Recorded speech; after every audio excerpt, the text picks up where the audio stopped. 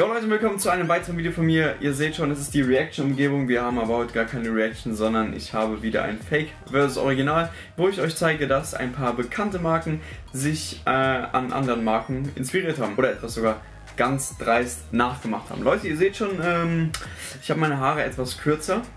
Äh, wer meinem Zweitkanal folgt auf YouTube, ist natürlich in der Videobeschreibung verlinkt. Der hat das auch schon etwas länger gesehen und äh, ja, ich bin eigentlich ganz zufrieden damit. Deswegen ja, wir fangen an. Ich habe mir heute ähm, acht Teile rausgesucht, beziehungsweise vier Doppel. Ähm, Fake versus Original. Und ich würde sagen, wir fangen auch schon mit dem ersten an. Und zwar haben wir hier auf der rechten Seite H&M und auf der linken Seite Supreme. Wenn man sich das Ganze mal anschaut, dann fällt einem auf, okay, es ist jetzt nicht nur einfach ein weißer Hoodie, den irgendwie gefühlt jede Brand mal rausbringt, sondern es ist tatsächlich äh, auch das Motiv. Und man könnte jetzt sagen, ja, ähm, etwas in den roten Kasten zu sticken ist nichts Besonderes, aber da fällt natürlich auf die Position der Stick, die Farbwahl, so das Einzige, was anders ist, dass bei H&M alles in äh, Caps geschrieben ist und äh, nicht wie bei Supreme nur das S groß. Äh, ja, ich finde es auf jeden Fall sehr auffällig. Äh, ist auch, glaube ich, aus der aktuellen H&M Season, also kann man da immer noch kaufen, wenn man eine Supreme Box Logo Alternative haben möchte. Ich hoffe übrigens, dass hier mit der Aufteilung passt so irgendwie äh, ja, dass ihr mich hier so seht zwischen den äh, Bildern. Aber naja, das war Platz 1. Ich persönlich muss auch sagen, ich habe äh, null irgendwie was dagegen, wenn man sich inspiriert, weil es hat alles irgendwie schon mal gegeben. Aber so hier bei sowas muss ich sagen, äh, ich finde es schon sehr dreist. Und wir kommen zur nächsten Sache, die H&M gemacht hat. Und zwar äh, ja, handelt es sich da um hier diesen Thrasher Hoodie. Und zwar hat H&M das gleich rausgebracht als äh, Trippin Sweater. Ja, das äh, ist zwar ein anderes Wort, aber sieht halt eins zu eins gleich aus und da kann man nichts anderes sagen, außer dass es wirklich asozial geklaut wurde. Und zwar, äh, ja, sind hier auch so, ist dieselbe Rundung von der Schrift, dann diese Flammen oben drauf. Und ja, wer Thrasher nicht kennt, das ist so ein Skateboard-Magazin, die haben auf einmal Hype so auf ihre Hoodies bekommen. Ist aber schon äh, so zwei Jahre her, als gerade so dieser Hype so voll äh, drin war. Und H&M hat dann irgendwie ein halbes Jahr bis Jahr später dann diesen äh, Sweater rausgemacht aus ihrer Divided-Kollektion da. Und äh, ja, das ist auf jeden Fall der äh, Trippin Sweater. Da muss ich wirklich sagen, finde ich wirklich absolut dreist, diese Kopie. Hallo, hier spricht die Modepolizei. also wer sowas macht, also wer setzt sich so dahin, ist jetzt Arbeit bei H&M, verdient da wahrscheinlich ne, nicht mal schlecht Geld so bei als H&M Designer und denkt so, ja, lass mal einfach dieses Thrasher Design rippen. Will schon keinem auffallen so. Als nächstes hätten wir wieder H&M und zwar haben wir hier einen Gosha Robczynski Sweater gegen einen H&M Sweater. Hier muss man sagen, auf den ersten Blick nicht wirklich gleich, bis auf dass die beiden einen roten Streifen auf den Arm haben, beziehungsweise drei oder halt fünf äh, rote Streifen auf dem Arm.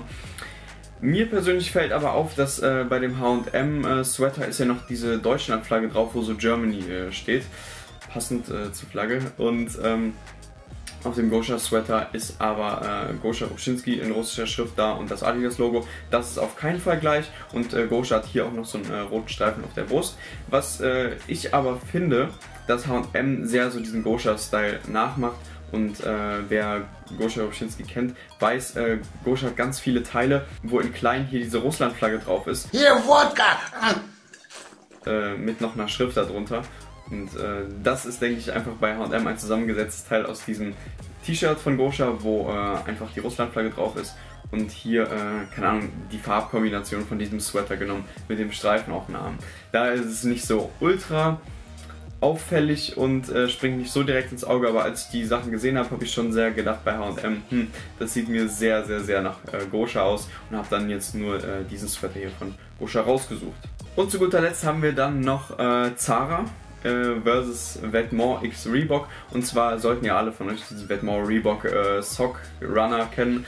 Äh, es ist einfach so, dieser Vetmore Reebok Schuh sieht aus wie dieser Balenciaga Runner und äh, der H&M Schuh sieht einfach aus wie ein Mix aus all diesen Sockenschuhen. Also Balenciaga, hier Vetmore und dann noch aus diesem Reebok Pump Schuh wegen dieser Unterbrechung in der Sohle unten. Also äh, hier, das meine ich. Wenn ihr mal hier hinguckt, wer diesen äh, Reebok Pump kennt, dem fällt das auf jeden Fall schon mal auf. Und äh, dann, keine Ahnung, einfach generell so dieses Sockenförmige, das hatten schon äh, viele gemacht, da war Wetmore nicht äh, der erste Schuh, aber es gibt auf jeden Fall einige Marken, die das schon hatten. Das ist halt einfach so, so bei Zara so ein Mix aus allen möglichen Schuhen. Würfen wir jetzt einen so zusammen und äh, haben dann unseren perfekten äh, Vintage-Hype-Schuh. Ja, das waren so äh, meine vier beziehungsweise acht Klamottenteile, die ich hier rausgesucht habe die ich finde sehr aneinander inspiriert waren und äh, da sieht man, also es gibt generell total viel von H&M und Zara, was an irgendwas inspiriert ist, aber das hier waren wirklich so Teile, wo ich sage, okay, da sieht man direkte Parallelen. Ansonsten äh, hat Zara zum Beispiel auch viel, wo ich jetzt sagen würde, die haben von der Brand da ein bisschen was von genommen und da ein bisschen was so, so zusammengesetzte Sachen.